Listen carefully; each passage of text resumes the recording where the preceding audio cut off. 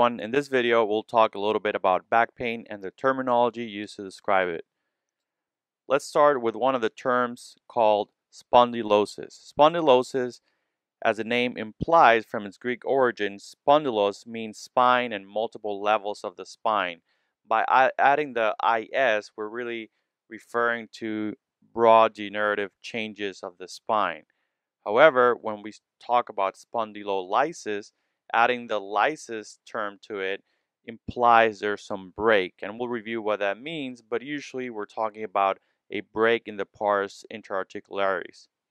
Finally we have spondylolisthesis which means displacement of one vertebral body in relation to the other one. Terms used to describe spondylolisthesis can be anterolisthesis or retrolisthesis. However, it should be noted that while a lot of times when we have spondylolisthesis, we have an underlying pars defect and therefore spondylolysis, the terms are not necessarily always related. For example, you can have spondylolysis without having spondylolisthesis, and you can have spondylolisthesis without having spondylolysis. So that's an important distinction to have in mind when you're reading a report or talking about uh, use about back pain using these terms because they imply different things and uh, some people might use them interchangeably and it's good to have in mind what they really mean. Let's go and review the basic anatomy of a vertebral body. Here we're looking at axial planes of a CT of the lumbar spine. You see the vertebral body anteriorly. You see the spinal canal in this region where the spinal nerves will start arising from and we have the facet joints. This is a fairly normal spine and you see the uniformity of the facet joints. You don't see any irregularities or any hypertrophy of the joint. However, compared to this one in which you see already a hypertrophy of the facet joint, which is this area here. So you see this is uh, much more larger than compared to the other one, which was a normal one.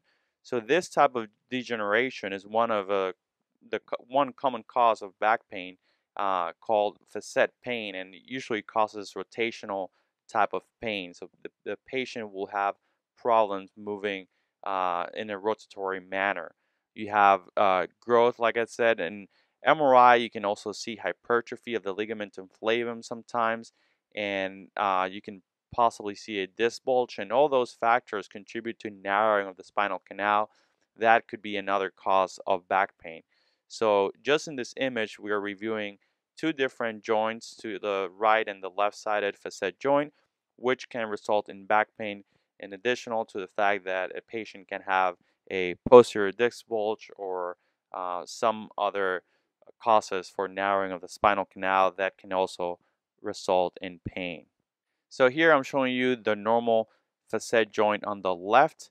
However, on the right, with the pointed by the red arrow, we have an irregularity, and that's actually a pars defect. So that's a, a defect, sometimes referred to as a fracture. Uh, it, it is important to know that, that there might be different etiologies or causes for this type of defect, and it's also important not to distinguish, not to confuse it and distinguish it from the adjacent facet joint. So here we're starting to see a little bit of the facet joint uh, however, this is the pars defect here.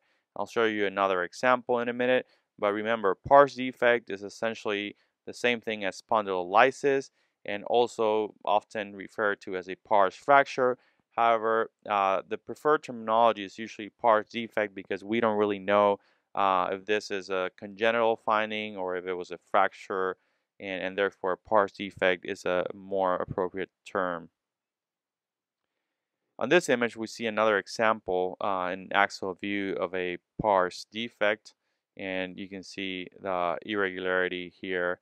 Uh, and again, it's a little bit more interior than where, whatever you would expect your, your normal facet joint to appear on an axial CT. Uh, finally, I'm showing you the sagittal plane in which we have a normal pars. So the pars will be this area here. And in the level below, you can see there's a defect. So that's another way of looking at it uh, on the sagittal plane and uh, it really represents the same thing and you, remember you can have spondylolisthesis as a result of a pars defect.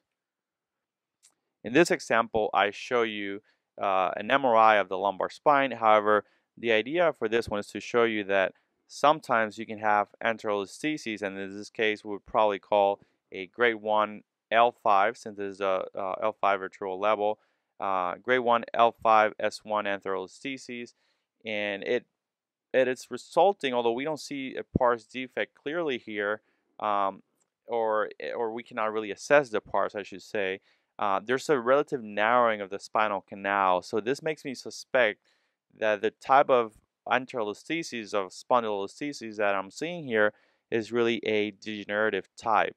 And I know I haven't gone over the details or the classifications of this, but the most important distinction is to know that you can have anterolistheses with or without a pars defect. And when you don't have a pars defect, it's usually considered a degenerative type of anterolisthesis due to laxity of the ligaments. So there's really no defect there, it's just the laxity of the ligaments. And the problem with that is that that causes narrowing of the spinal canal and it can cause some spinal canal compromise. When you have a pars defect, you'll have the same migration, however, the spinal canal doesn't get narrowed because there's a fracture, so it's not pulling on the posterior elements of the spine as it migrates anteriorly. So that's something to have in mind, and it's really the most important distinction uh, that you should know when talking about anterolistheses, whether there's an underlying pars defect or not. And that's the area of possible narrowing. Like I'm saying, uh, I don't really see the facet, and uh, so it, it's really a hypothetical situation in this case.